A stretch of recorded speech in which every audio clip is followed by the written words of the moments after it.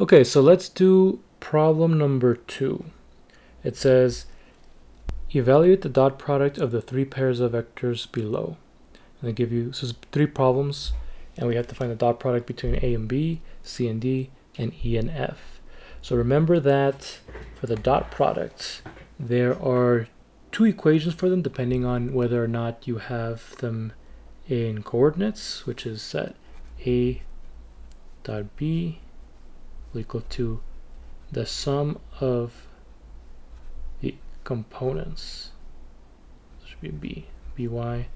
And then, so this would be if there's two-dimensional vectors, like these are two-dimensional vectors, and then if you have a, a, third dimension, AZ times BZ, where this is the x component of A, this is the x component of B, the y component of A, the y component of B.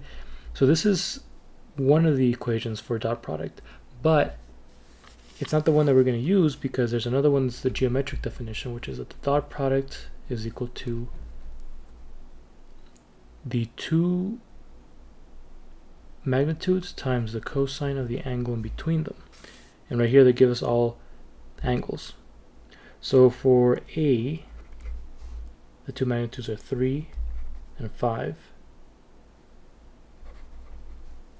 And we want the cosine of 40 degrees.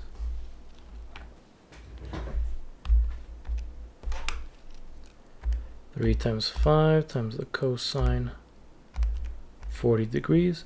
11.5 matches the 11 right there.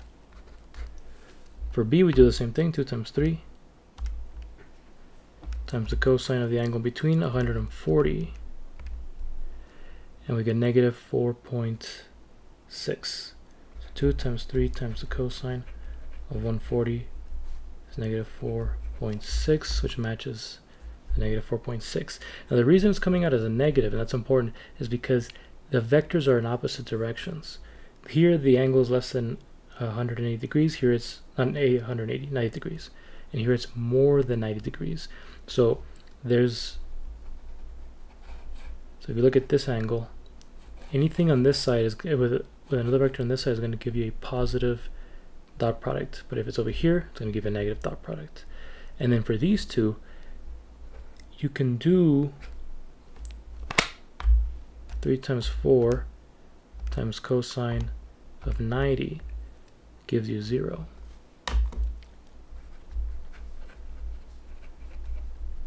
And the dot product of any two vectors that are 90 degrees is going to be 0. All right, done.